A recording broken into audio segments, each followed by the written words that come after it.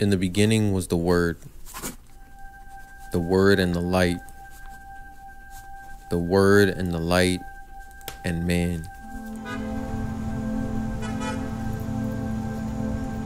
Then darkness gave us a kiss.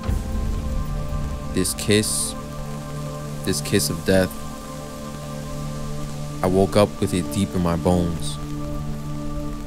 A hunger, an itch, sweet whisper promising a kiss on the neck. But that was never at the forefront. At the front was the Word, the Word and the light and me. Held in its embrace, still the darkness crept.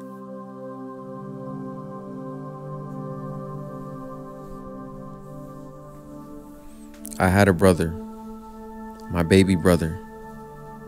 He was such a ray of sunshine, a lover of life, an artisan, the kind of person who would cry at a sunset.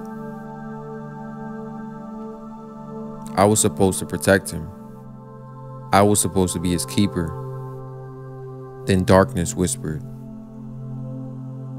The light tried to embrace me, but I spit in its face. I let shadows fill my nostrils and breathe deep into my stomach. Hate filled me like a flame and let me dazzle like a chandelier. The ground ate the blood. Like, like it was thirsty. Like it was looking forward to it.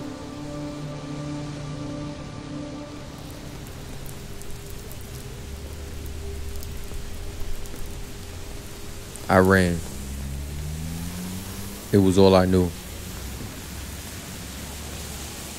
And now I wander in my own land, exiled east of Eden.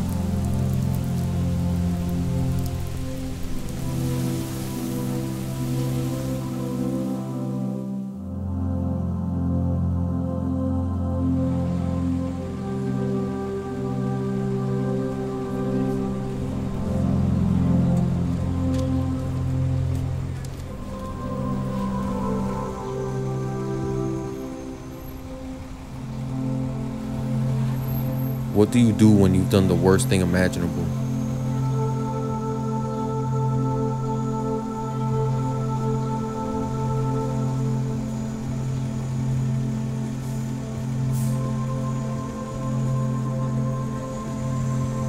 You let the light hold you.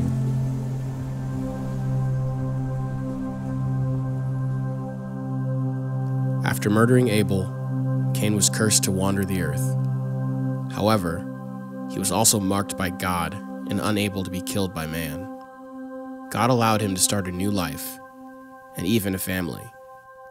In the face of our depravity, God responds with mercy.